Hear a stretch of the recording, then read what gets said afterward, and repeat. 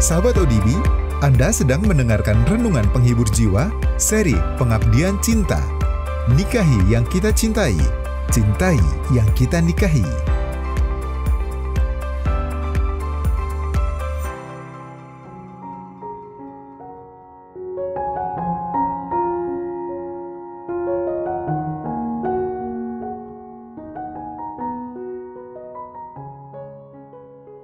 Seri renungan penghibur jiwa ini berjudul Mujizat Pernikahan.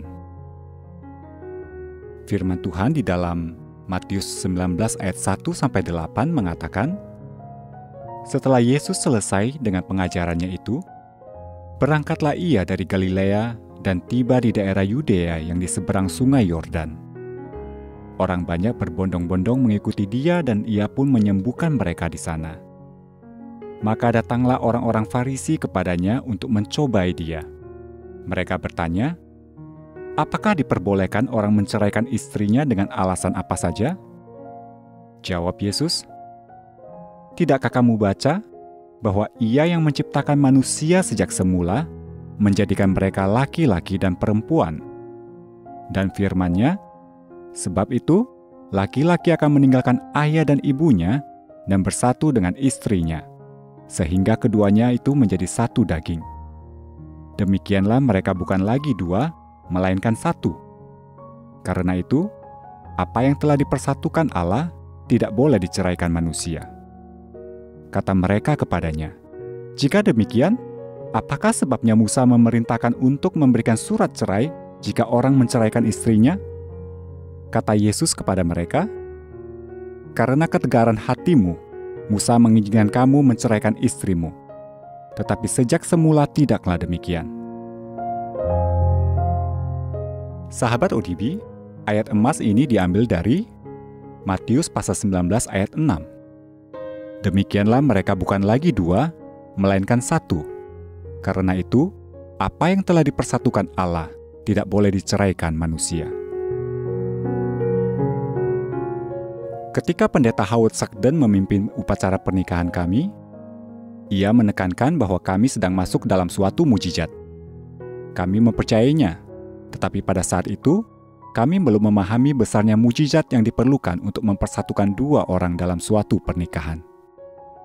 Setelah 20 tahun, saya sadar bahwa kehidupan pernikahan dan bukan upacara pernikahan itu yang menjadi mujizat yang sebenarnya. Siapa saja dapat menikah, tetapi hanya Allah yang dapat menciptakan kehidupan pernikahan. Menurut sebuah definisi, menikah berarti membuat dua pihak berpadu dengan bersikuku dalam kesetiaan.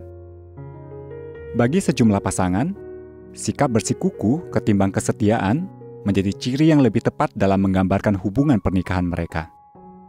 Allah punya maksud yang jauh lebih baik bagi para pasangan daripada niat yang kukuh untuk tidak bercerai.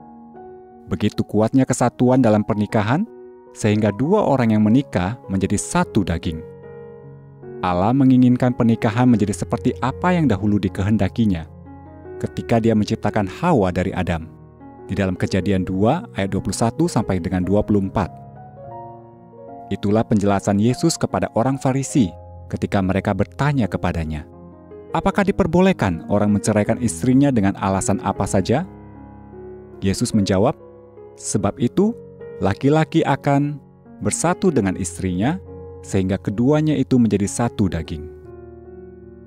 Mengikrarkan hidup Anda untuk berpadu dengan seseorang sungguh merupakan suatu tindakan iman yang membutuhkan keyakinan pada mujizat. Syukurlah, Allah sumber mujizat itu sendiri yang menciptakan kehidupan pernikahan. Sahabat ODB, Pernikahan yang baik membutuhkan keteguhan hati untuk menikah sehidup semati. Terima kasih sudah mendengarkan renungan penghibur jiwa dari Our Bread Ministries. Untuk berlangganan renungan kami, silakan daftarkan diri Anda melalui situs santapanrohani.org.